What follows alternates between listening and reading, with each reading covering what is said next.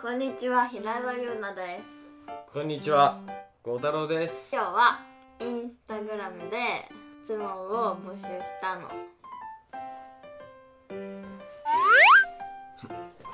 うん。それをうん。たくさん答えていきたいと思いますオッケどこで出会ったんですか？出会ったの？谷渋 なんで出会ったか聞かれてないから谷。そうだよ。どこで？だ 渋谷で出会いました2人の出会ったきっかけは？これ結構話してない？共通の友達うん。同い年のうん。です。その人経由で知り合ったそれも渋谷だよね。そうそれが渋谷でそう。その人に誘われて渋谷行ったらいた。いたってか遅れてきたんで大会の打ち上げみたいああ、そうそうそう。悪くね、遅れてきたって言い方。さっきの話からのこれはさ、絶対に良くないよね。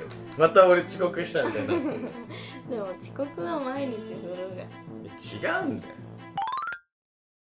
はいお互いどこに惚れたのか知りたいうーわ。え、もうこれは第一印象の方。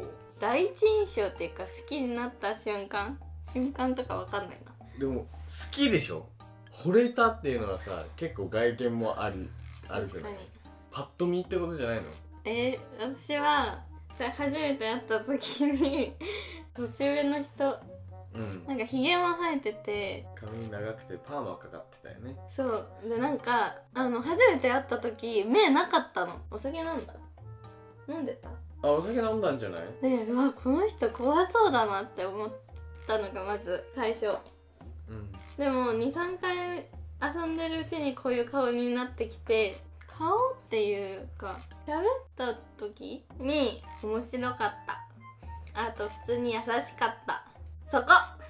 あの見た目は最初はそんなに本当に違ったんだよ。あの初めて会った時に多分写真見ても違くない？いやその時の写真こちらです。ドンあ俺？俺。いやーでもいっぱいあるな。そのなんだろう。外見で言うと大きいお目目には惚れてるし。で体操が綺麗だった。体操で言ったらそこにうわへえ。ーなったし綺麗で大きくて。綺麗で大きくて。綺麗で綺麗で大きくて体操がね。何おっぱい？おっぱい？おっぱい？おっぱいうん。にゃおっぱい？うん。綺麗で大きくて。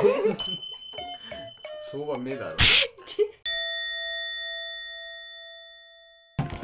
終わり